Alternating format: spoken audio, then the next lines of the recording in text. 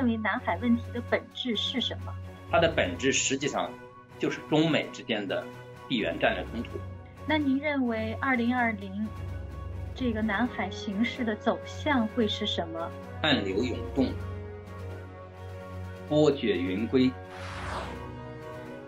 美国的商务部长罗斯他说了一句话，真是让我们疫情的这种爆发反而可以正好可以促使这种制造业回流美国。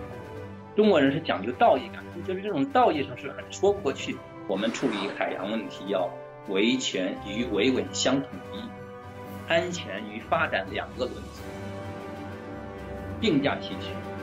但是我们担心的是，就是越南会有一种，嗯，好话说尽，坏事做绝，就是很多的一些国家呢，经济上依靠中国，但是呢，安全上依靠美国。所以它实际上是矛盾的两个方面，它是不对立统一的。美军在我们全国紧张抗疫之际发布声明，指责我们中国海军的驱逐舰用激光照射他们的海军的巡逻机，究竟发生了什么？那么只有一种情况，那就是这艘巡逻机刻意的在我们军舰上空盘旋。这样，他们有从时空上讲有这种可以发现这种情况的这种机会。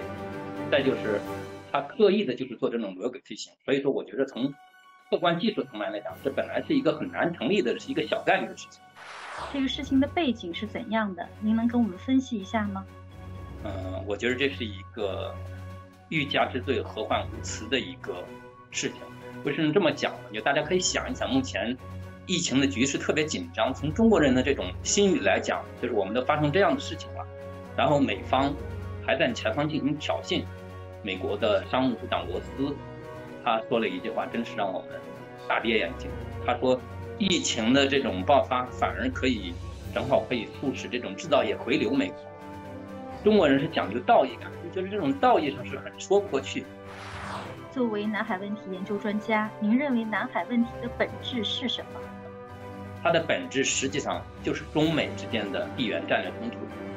对中国来讲，我们要经略海洋，我们要走出大洋；对于美国来讲，它要保持这种战略层面的这种地缘战略这种优势和这种军事存在。因为原来虽然名义上我们南海有好几方，但实际上从军事实力来讲，是美方一直在那边转悠。所以实际上它打破了双方的这种地缘战略平衡。那您认为二零二零？这个南海形势的走向会是什么？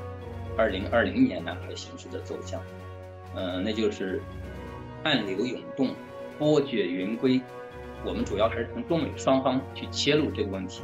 比如说，预计、预测美方会继续做什么？它一直不停的这种，呃，航行自由行动，这种航行自由行动它肯定还会继续保持，但是呢，它也会做一些战术层面的变化。来进一步向东方施压，这些变化呢，实际上从二零一九年的一些反恐自由行动已经能看出来，比如说双舰进入，再比如说舰机协同，从今年年初的这种情况看，越南的动作是比较多的。如何能够加强这些国家从东北亚到东南亚之间的合作，化解？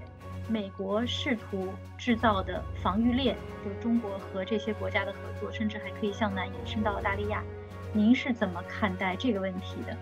我觉得，对于中方来讲，首先第一点，一定还是要扎实的做好军事斗争准备，因为这是物理层面的基础层面的。你的军力强了，把自己做好了，那么外方再怎么来挑衅，有这种实力垫底，也就都没有问题。